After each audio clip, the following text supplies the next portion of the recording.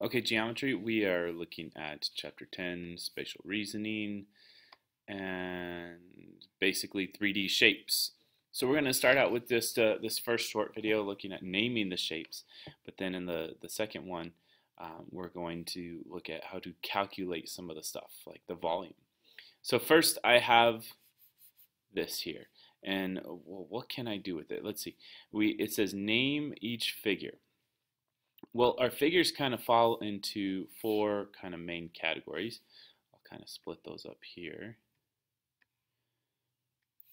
And we would have, you know, our pyramids, and I say kind of fall because they don't exactly.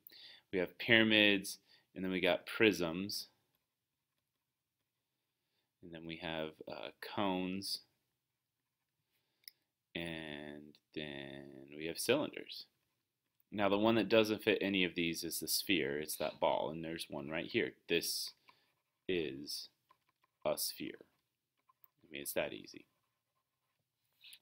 Uh, but for pyramid, let's see what we got. Okay, so a pyramid, it's got a, a polygon base. So both prism and pyramid have polygon bases.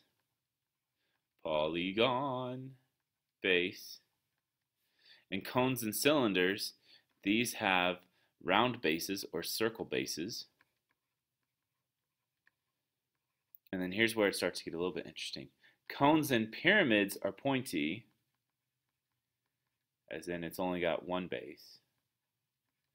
And prisms and cylinders are not pointy, so let's cross it out.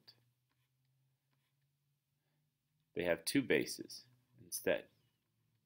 So how do we put this all together? Let's see what we have in this one. So here's here's what I look for. I kind of ask myself, can I see two bases that are congruent?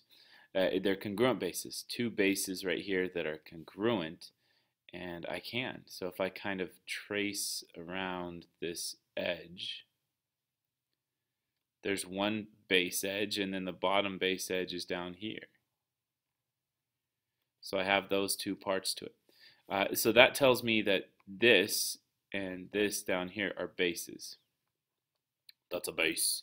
And then these walls, you could say around the other edges are, are the lateral or the wall edges, however you want to call them, the wall faces.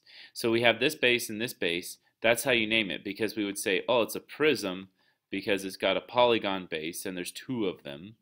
Uh, but then we'd see how many sides. Let's see, one, two, three, four, five, six. So that's a hexagonal prism. I'm going to kind of cheat and just say hexagon prism. Let's look at this next one. Okay, I see a polygon base, and in fact, it's a square. So that's a square base. So it can't be cylinder, and it can't be a cone, and it can't be, well, what else could it be? It's pointy. Pointy. So because it's pointy, it's a pyramid. So it's a square pyramid. Cool. So that's the general idea there. Let's let's compare it to one other real quick. And this one here, number six. Taking a look at that one, I'm like, oh wait, it kind of looks like a pyramid because it's got a top. It's not pointy. It has sharp edges, but there's no actual point where everything converges like this one. A point where all these little points of the star come together because it has these three pieces, it's kind of more on its side. Because if you look, this here is like a triangle base, and then this here in the background is the other triangle base. And then we have those walls kind of going around horizontally. So then that would make this a polygon base, so that's a prism. And there's two of them.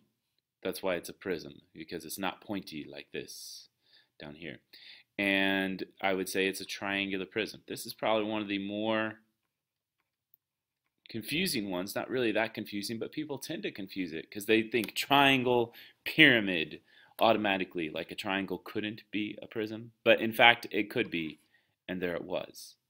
Okay, so that's the basics with those, the, the real short video.